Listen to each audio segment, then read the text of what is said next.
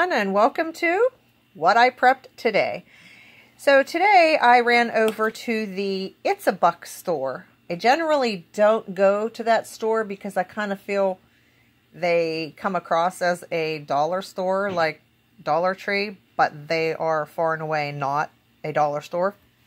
They started out as a dollar store and wanted to expand, so they got a lot of other things in. Some of them rather pricey, others okay. Uh, I got these matches, which I'm going to go back for more of these matches. I didn't want to light one in the store to test them, but they work nice. Um, three stars, safety matches, made in Sweden. Pretty cool. And I think there are 240 sticks in there, it says approximately. And that was only 50 cents. So for me, that's a stock up. Uh, I am going to have to tape the edges, though, because they're not sealed.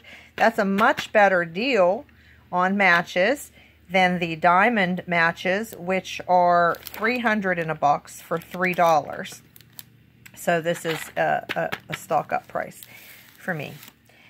I got these two items. I got the marinade injector for $1 and I only bought this because I wanted to see if the edge there fits my Sawyer filter. I use my Sawyer water filter to actually filter um, vacuum pump oil for my Harvest Right freeze dryer. So I have to backwash it and the syringe for that broke.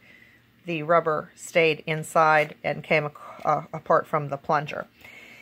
I bought this hose clamp set and it's made in China. They're not stainless steel, but they're just going to stay in the part tool backpack that I keep in the back, uh, in the bed of my truck.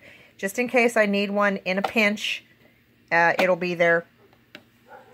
I got the heavy-duty scrubber, and I like these ones because they have the handle, and they actually get into the little um, bumps that are on the bottom of the bathtub, the no-slip bumps that are, you know, anyway, sometimes hard to get the bath bomb coloring out of when your grandson changes your bathtub seven different colors. I got the scouring pads. I will actually cut some of these in half and store them in a Tupperware container underneath my kitchen sink. I use these to wipe out my cast iron skillet.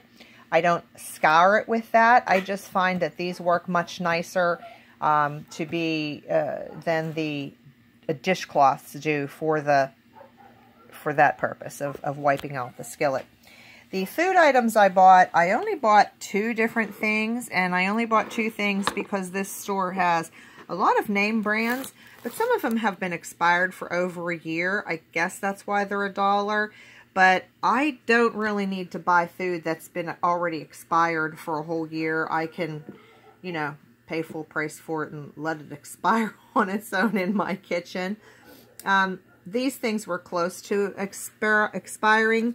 The pickles uh, expire in April uh, on the 9th. That This is March 1st. I don't think we'll have a problem finishing two jars of garlic bite pickles.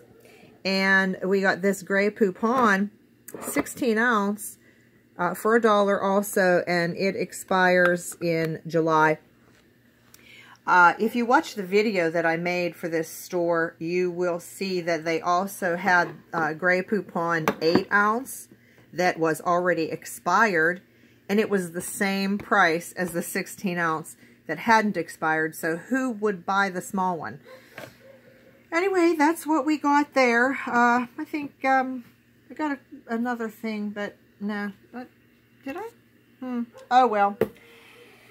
Your benefit to my bad memory is that you get a short video instead of a long one. So tell me in the comments, what did you prep today?